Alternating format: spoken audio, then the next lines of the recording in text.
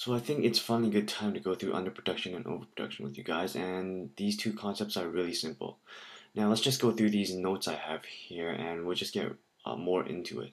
So inefficiency can occur because too little of an item is produced, and that is uh, called underproduction, or too much is produced, that is called overproduction.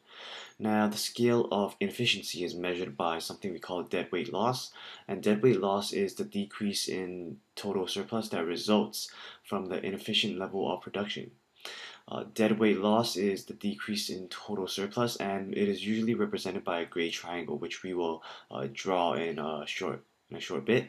The total surplus is reduced to less than its maximum when deadweight loss occurs, and deadweight loss is borne by the entire society.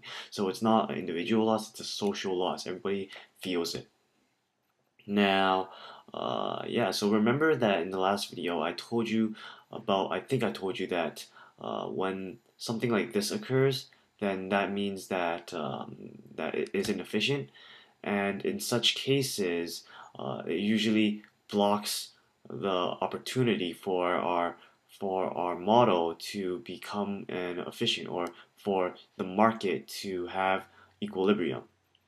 So that's what deadweight loss does. It messes up equilibrium a lot. So let's just get right into it. So uh, the first uh, the first concept we're gonna try to hit on is uh, underproduction. So underproduction uh, let's just imagine that the production is restricted to five burgers a day and there is uh, underproduction, so the quantity is inefficient. And you may have noticed that I have this uh, burger per day. I forgot to put in all my other graphs, so just imagine that it was always there. So yeah, so production is restricted to five burgers a day and there's underproduction. The quantity is inefficient. Now, I've gone through something like this with you guys before and I think I went through it with you guys in this graph very briefly, but this will be more in depth. So here you see that I have already drawn a dotted line for uh, for the restriction down to five burgers. Uh, this is under production. There is uh, inefficient uh, inefficient amount of qu uh, quantity. So uh, what happens is there's actually a deadweight loss. And you can see that this area that I'm currently tracing out, that I'm currently darkening in these two graphs, this gray area is actually called our dead weight loss. Now, what's happening is that we're not at, we're not reaching equilibrium at all. This dead weight loss is the decrease in total surplus. So when we have equilibrium, then that's uh, that's when our total surplus is maximized. Well, we have this dead weight loss now, so then there's a decrease in total surplus, and that means that uh, our total surplus is reduced to less than its maximum uh, when our dead weight loss occurs, and this uh, is a social loss and it is borne to the entire society. And this is what uh, inefficient production can do.